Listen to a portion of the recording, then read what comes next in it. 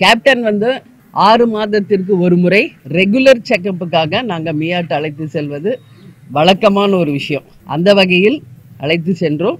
அப்போ செக் பண்ணும்போது பிளட்ல ரொம்ப ரொம்ப மைல்டாக ஒரு கொரோனா அறிகுறி தெரிகிறது என்று டாக்டர் சொன்னாங்க. அதனால அதுக்கு ஒரு வைரல் இன்ஜெக்ஷன் இருக்கு. அதை போட்டோம்னா ஒன் ஆர் டூ டேஸில் செட்டில் ஆயிரும் அப்படின்னு சொன்னாங்க.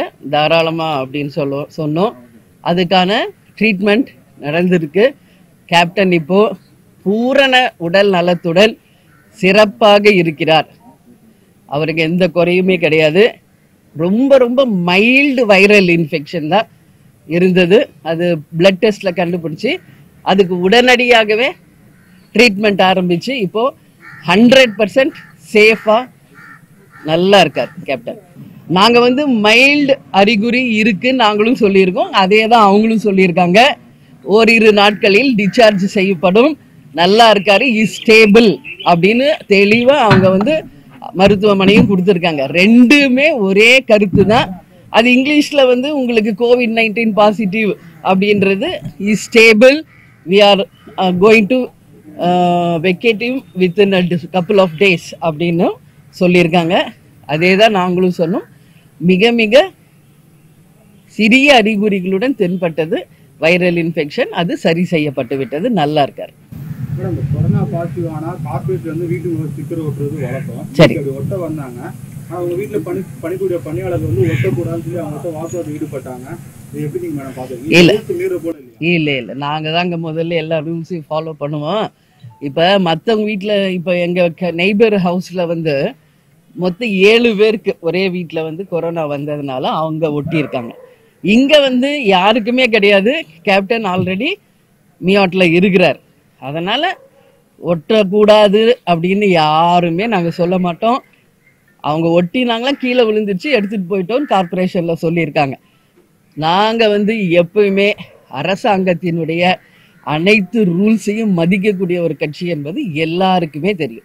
இல்ல கார்பரேட் வந்து ஒட்ட வந்தாங்க. இவங்க உங்க அத இங்க பணிபுரிய பணியாளர்கள் வந்து ஒட்டக்கூடாது வாக்குவாதம் பண்ணாங்க. கார்பரேட் உயர் அதிகாரிட்ட ஃபோன் பண்ணி பேசினாங்க. அதுக்கப்புறம் ஒட்ட வந்தவங்க ஸ்டிக்கர் ஒட்டாம எடுத்துட்டு போயிட்டாங்க. அது தெரியல.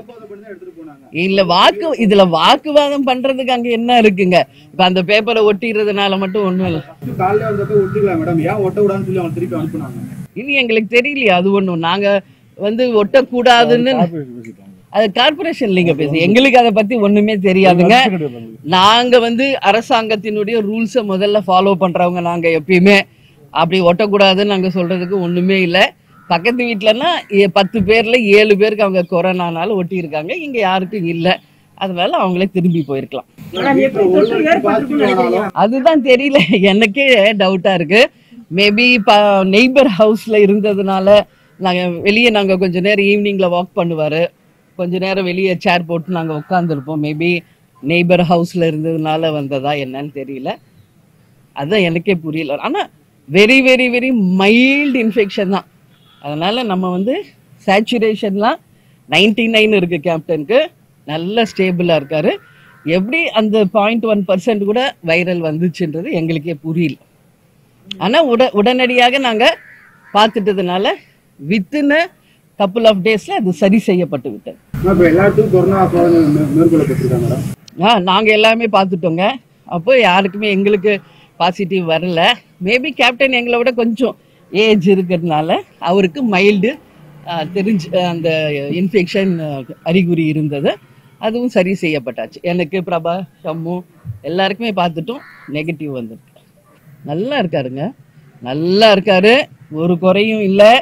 அதான் சொன்னல இன்னும் ஒன் ஒன் ஆர் டூ டேஸில் வந்துடுவார் அடுத்த வாரத்துல இருந்து தன்னுடைய ரெகுலர் ஒர்க்கு கேப்டன் ஆரம்பிக்க போறாரு. தலைமை நிலைய செயலாளர் பார்த்த சாரதி எல்லாரும் இருக்காங்க. இந்த பேட்டி மூலியமாக முதல்ல தேசிய முற்போக்கு திராவிட கழகத்தினுடைய மாவட்ட செயலாளர்கள் நிர்வாகிகள் தொண்டர்களுக்கு நான் சொல்லிக்கிறது என்னன்னா கேப்டன் சூப்பரா இருக்காரு நல்லா இருக்காரு. அடுத்த வாரத்துல இருந்து ஆன்லைன்ல நான் ஒரு வாட்டி பேசினேன் இல்லையா? தமிழ்நாடு முழுக்க அனைத்து மாவட்டத்தோடையும். அது மாதிரி அடுத்த வாரத்துல கேப்டனும் ஆன்லைன்ல அனைத்து மாவட்டங்களை தொடர்பு கொண்டு பேச இருக்கிறார். இது ஏற்கனவே நாங்க பிளான் பண்ணிட்டு இருக்கோம். மேபி நெக்ஸ்ட் வீக் அது கேப்டன் பேசுவாங்க.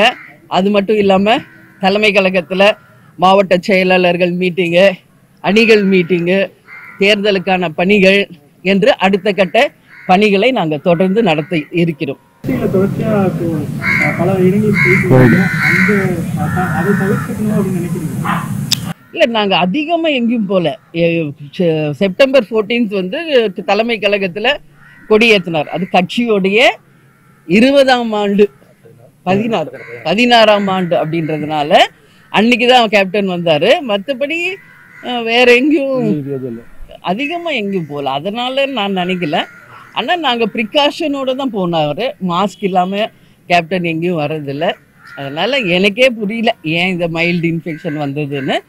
பட் வந்து இது யாருக்கு வேண்டுமென்றாலும் வரக்கூடியது தான் இவங்களுக்கு தான் வரும் அவங்களுக்கு தான் வரும்ன்றதே கிடையாது. யாருக்கு வேண்டுமென்றாலும் வரும். உலகம் முழுவதும் இருக்கின்ற இந்த வைரல் இன்ஃபெக்ஷன் யாருக்கு வேணாலும் வரும். அதனால் நீங்கள் எல்லாமும் சேஃபாக இருங்கன்னு நான் முதல்ல உங்களையும் கேட்டுக்கிறேன்.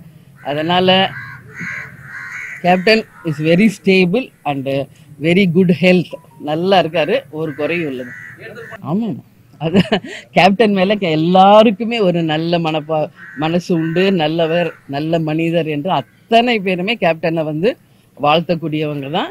தொலைபேசியில தொடர்பு கொண்டு கேப்டன் சீக்கிரமா உடல்நலம் பெற வேண்டும் என்று வாழ்த்திய முதலமைச்சர் துணை முதல்வர் அனைத்து மந்திரிகள் அதே போல எதிர்க்கட்சி தலைவர் அது மட்டும் இல்லாம ரஜினி சார் திரை உலகன்னு இருக்கிறவங்க எல்லாரும்.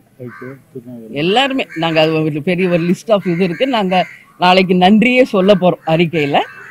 எல்லாருக்குமே இந்த பிரஸ் மீட் மூலமா வந்து நான் எங்களுடைய தேமுதிக சார்பாக எங்களுடைய நன்றிகளை அவங்களுக்கு தெரிவிச்சுக்கிறோம் மேம், செயற்குழு பொதுக்குழு December end or January first வீக்ல இருக்கும். அதுக்கு இன்னும் டைம் நிறைய இருக்கு. உரிய எந்த எங்க நடத்த போறோம் எந்த தேதி என்பதை அதிகாரப்பூர்வமாக தலைமை கழகம் அறிவிக்கும். இது செப்டம்பர் 14th நான் வந்து இதோட ரெண்டு மூணு வாட்டி இதுக்கு பதில் சொல்லிட்டேன். இப்போ மறுபடியும் மறுபடியும் நம்ம அதையே கேட்க வேண்டாம். இப்போ இன்னைக்கு நியூஸ் மட்டும் நீங்கள் போடுங்க. அது இன்னும் டைம் நிறைய இருக்கு. நம்ம அதை பற்றி பிறகு யோசி சொல்லலாம். அதே மாதிரி ப்ரெஸ்ஸுக்கு வந்து நான் ஒரு சின்ன ரெக்வஸ்ட் இன்னைக்கு இந்த ப்ரெஸ் மீட் மூலமாக நான் சொல்லணும்னு நினைக்கிறேன். ஏன்னா தலைமை கழகம் அதிகாரப்பூர்வமாக நாங்கள் அறிவிச்சிட்டோம்.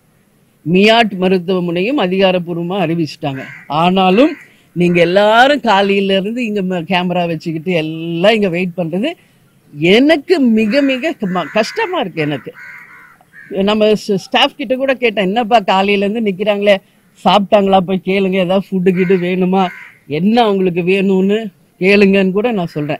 நான் என்ன ஒரு சின்ன ரெக்வஸ்ட் உங்களுக்கு கொடுக்குறேன்னா நாங்களே தலைமை கழகம் வந்து இத்தனை மணிக்கு இந்த இடத்துல பிரஸ் மீட் இருக்கு.